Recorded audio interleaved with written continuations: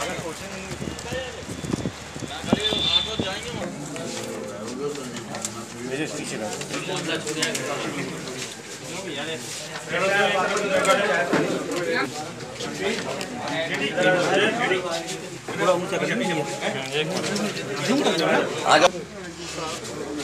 बाद घटनास्थल पर जब रेकी की गई चार पाँच किलोमीटर के अंदर